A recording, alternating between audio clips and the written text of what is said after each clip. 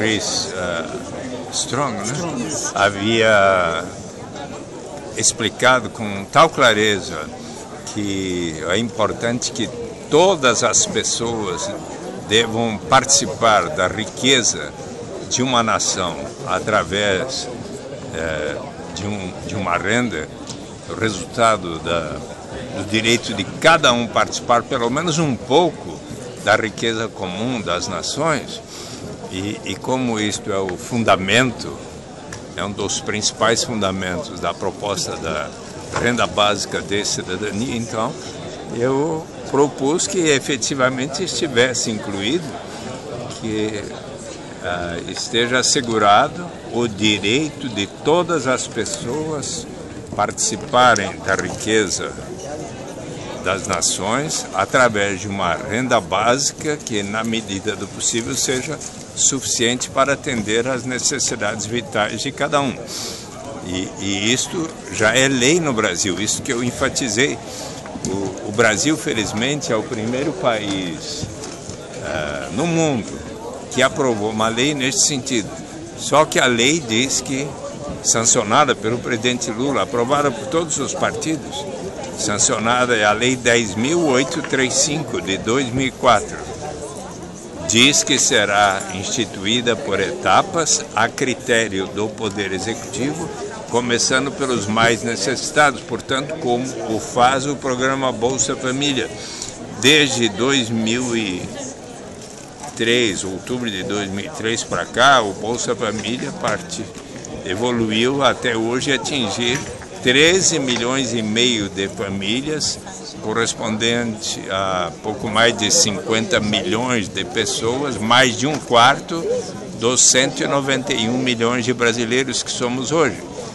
Mas um dia será pago uma renda básica, em princípio para atender às necessidades vitais de cada um, como um direito inalienável de todos participarmos da riqueza da nação, como argumentou também o senhor Maurice Strong. Senador. E, e isto será cada vez mais com o progresso da nação, a ninguém será negado.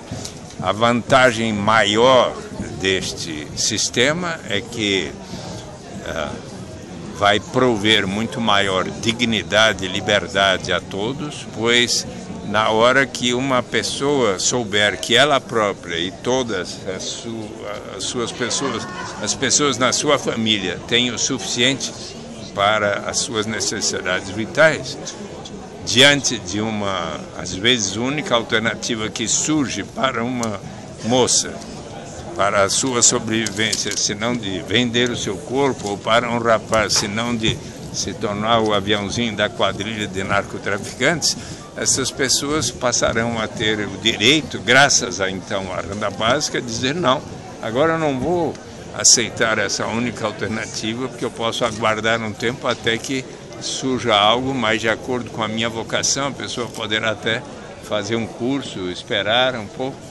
E, mas além disso, nós com isso eliminamos toda a burocracia envolvida em ter que saber quanto cada um ganha no mercado formal ou informal eliminamos o estigma, o sentimento da vergonha de, da pessoa precisar dizer eu só recebo tanto, por isso mereço tal complemento de renda.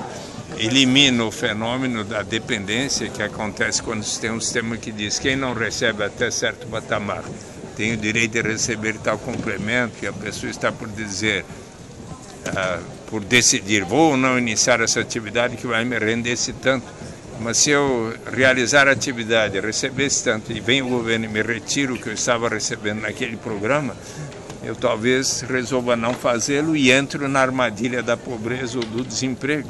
Mas se todos iniciarmos da renda básica em diante, sempre haverá o estímulo ao progresso. E senador? Será que existe algum lugar do mundo já onde existe o pagamento igual de uma renda básica a todos os seus habitantes? O Globo já enviou lá para fazer a reportagem a respeito? Como você chama? Boa sugestão. Luciane. Com, Luciane. Mas se eu lhe disser, você vai lá? Não, eu, eu sou repórter mais de economia, mas eu vou fazer a sugestão. Não, mas e, e, e que, que mais